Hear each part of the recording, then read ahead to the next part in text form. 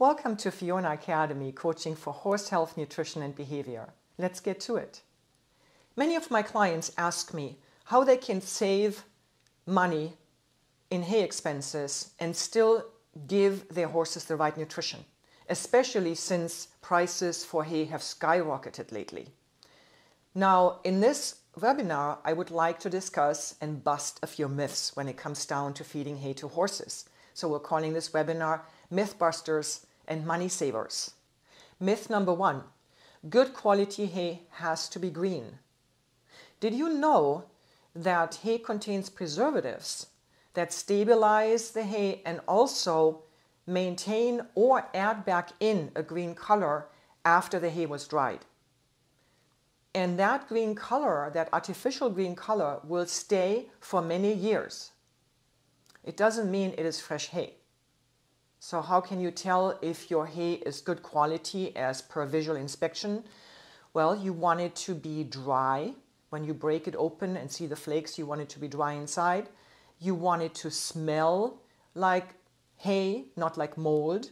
And you don't want to have any foreign bodies in it, rocks or um, you know, dead mice or, or, or branches. Myth number two. My horse has to eat hay all day long. Now this is a very big one. And I cannot tell you, in all those decades I've been doing what I do, how much resistance I keep getting until the horse owner realizes that your horse will actually leave hay behind if the nutrition is balanced. If you offer your horse hay all day long because you think or you were told it's natural, well, you would have to put your horse on a treadmill in the stall because in nature, if you, for instance, imagine a, a band of Mustangs, those horses move around most of the day. And as they are moving, they might pick up grass here and there. But as they are eating, they are burning those calories off right away. Hay does have calories, and we're going to come to this later on in, or in another class. So last year, I bought a three-year-old out of pasture and had everyone tell me that he probably needed to be free-fed. Uh, but after speaking with a nutritionist and coming up with uh, a great plan, he gets fed three times a day and uh, as well as a balanced grain ration. And with the program that he's currently on, he doesn't have any cravings, he has no ulcers, and as a matter of fact, as a four year old, we just completed and placed in our very first show. Myth number three my horse needs 2% of its body weight in hay.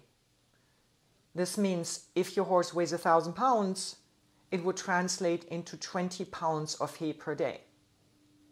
Again, as I mentioned in the previous myth, and I haven't discussed this yet, hay has calories. One pound of hay has about a thousand calories. Now let's play this through with a simple example. If your horse is a thousand pound and gets out maybe an hour per day, your horse has an average metabolism that requires about, let's just say, 16 to 18,000 calories per day. If you feed your horse 2% of his body weight in hay, from the hay calories alone, your horse will consume 20,000 calories per day, which is four two to 4,000 calories per day too much. And you probably add food in the bucket to this on top of it.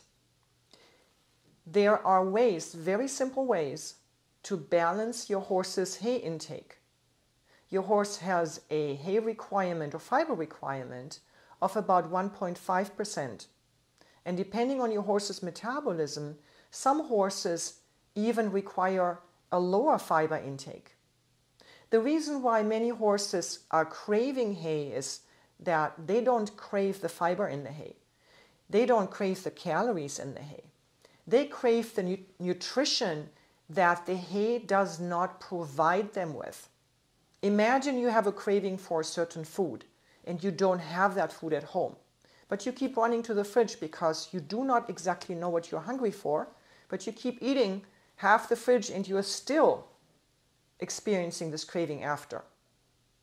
So if you balance your horse's diet and the three most efficient nutrients in a horse's diet, I'm going to give you those right now here, are the following.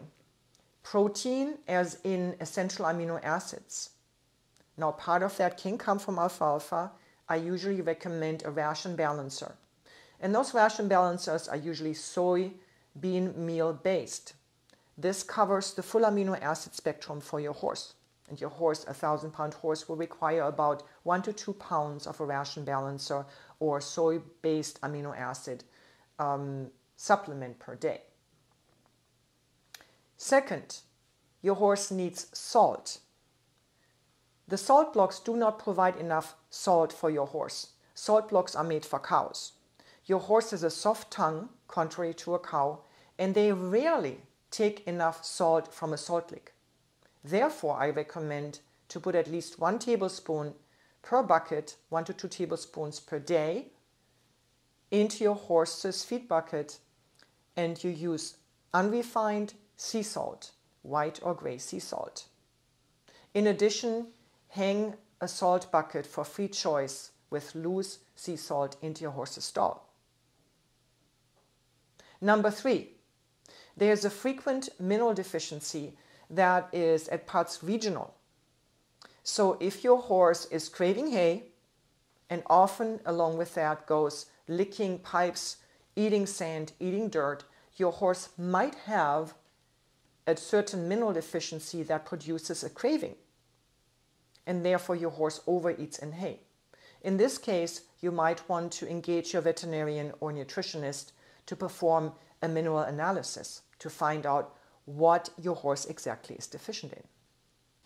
Myth number four. My horse gets enough protein from hay, from grass hay. Now, when I say hay, I mean grass hay like Timothy, Orchard, Bermuda, uh, teff, any grass. I am not talking about alfalfa. Alfalfa is not hay, it's a different plant that belongs to the family of legumes where beans and peas belong to. So I'm talking about grass hay. Many people think that their horse gets enough protein from grass hay because they have looked at the hay analysis. This is a myth because when the protein in the grass hay finally gets liberated in the hindgut of the horse, it cannot be absorbed into the horse's body anymore. This is especially applicable for older hay, and this is why horses on 100% grass hay only often lose their top line or muscle. You have to add protein separately from this grass hay to build muscle and top line in your horse. Myth number five. A hay analysis will show me whether my hay is good quality or not. There are several problems with this. Yes, your hay will show, the hay analysis will show you how much starch or sugar the hay contains. It will also show you the mineral content of your hay. It will show you the protein content of your hay. And here's the first problem. The problem is that your horse is not a laboratory beaker. So the digestive process in your horse happens in a chronological order. And the laboratory just sticks the hay into a glass container and extracts the nutrients or the protein or the sugar as it is in there. It does not reflect the bioavailability. That means the amount to which your horse is able to make use of the nutrients in the hay. So you might have actually on the paper good quality hay, but your horse cannot do anything with it. Let me discuss this example on the nutrient of protein. Protein can only be absorbed in the horse's foregut. Hay gets undigested through the stomach, through the foregut, and then gets broken up in the hindgut of the horse. And this is where protein gets liberated. But the hindgut cannot absorb the protein. Hindgut can only do three things absorb water, absorb minerals, and break down the fiber in the hay into volatile fatty acids. Long word. This is all your hindgut can do. So any protein that might be analyzed as 10 or 12 or 14% in your grass hay might be completely useless to your horse. Furthermore, the laboratory analysis will not show you the amount of preservatives or toxicity in your hay unless you specifically request a toxicity analysis on your hay. Now, I'm not saying your hay preservatives are toxic, but sometimes farmers and hay growers have to add more preservatives to the hay depending on the weather because they need to get the hay off the field. So some horses have shown to not tolerate this hay too much anymore. So that means the hay might have good nutrients, it might be good quality from a nutritional standpoint, and the laboratory analysis might show this, but it still might not be good quality to your horse. Myth number six Free feeding hay prevents my horse from getting ulcers. Now, this is a big topic, and I will mention it here because I know that in the comments after, if I don't mention it, the question will come up. This is a big myth. If this was true, that free feeding horses hay all day prevents ulcers, our ulcers would be extinct by now, but there are none of that. They're to the opposite. Their horses are having ulcers more than ever. There are other reasons why your horse gets gastric ulcers, and we will have a separate course on that topic. For now, I'm going to tell you if your horse has a balanced diet, balanced in fiber, in calories, in protein, in minerals, especially salt, and your local minerals that are mainly deficient, your horse will stop eating hay and will leave it behind. I promise you, it works. Myth number seven fine stemmed hay makes my horse colic. Now, the reason for colic in most of the cases is dehydration followed by impaction followed by complications. And the fine stemmed hay, if chewed all right, is not the cause for an impaction. If your horse is dehydrated or does not take in enough salt and subsequently does not drink enough water, any hay can make your horse impacted and can produce a colic. Myth number eight alfalfa has too much starch and sugar. I'm mentioning alfalfa here because it keeps coming up all the time. Now, alfalfa is not a grass hay. Alfalfa is a separate plant. And alfalfa contains of two components, the leaves and the stems. The leaves contain protein and the stems contain fiber. The sugar and starch content of any hay, whether grass hay or alfalfa hay, depends on the season it was harvested and actually also the time of the day. You can have grass hay, Timothy, orchard, Bermuda, which is very high in sugar if it was harvested early in the spring. You can have alfalfa hay if it's the last cut of the year, which is very low in starch or sugar. And when I say low, I talk, I'm talking about 7 or 8%. So this myth that alfalfa is high in sugar and starch is absolutely, absolutely so false. Now, what it is higher in is one component that is desirable, and it's protein. Alfalfa leaves contain bioavailable protein because those leaves can be digested in the foregut and are bioavailable as protein to your horse. This is my beautiful horse L'Oreal. I was always told that alfalfa hay is high in sugar and will make your horse hot.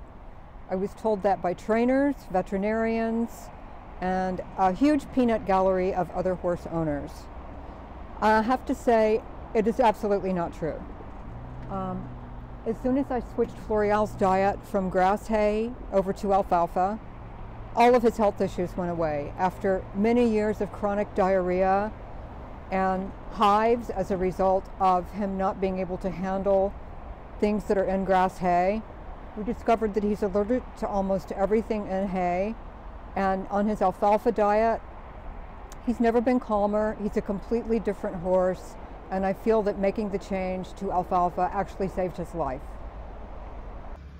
Many, many times over the years, I was told to avoid feeding my horses, especially the thoroughbreds, alfalfa, because its high starch content would make them hot.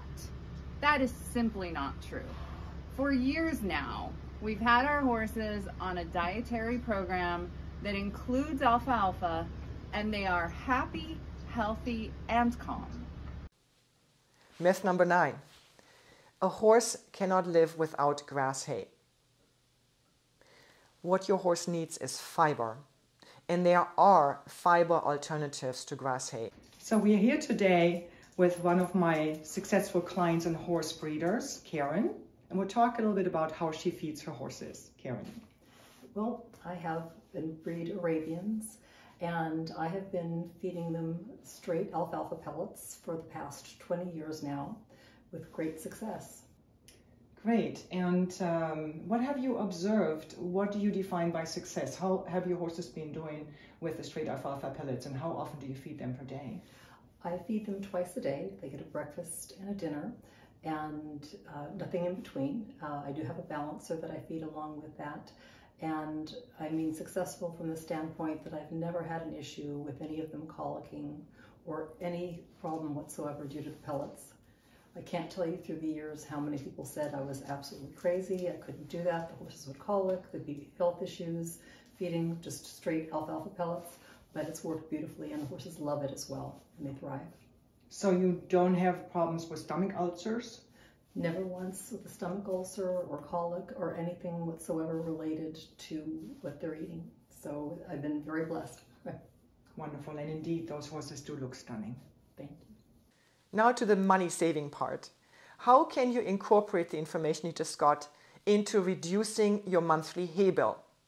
First, you want to find out how many pounds of hay you are actually feeding per day per horse. For this, I recommend a fishing scale that you can get easily online.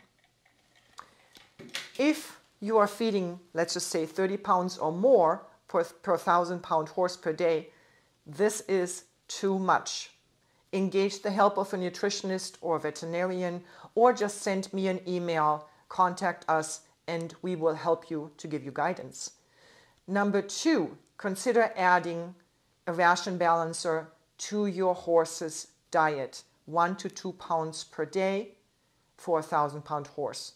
Three, add sea salt, one or two ounces per day, hang a sea salt bucket for free choice. Consider replacing some of your hay with other alternatives, maybe beet pulp pellets soaked as instructed and needed, or alfalfa pellets or alfalfa hay, second or third cut.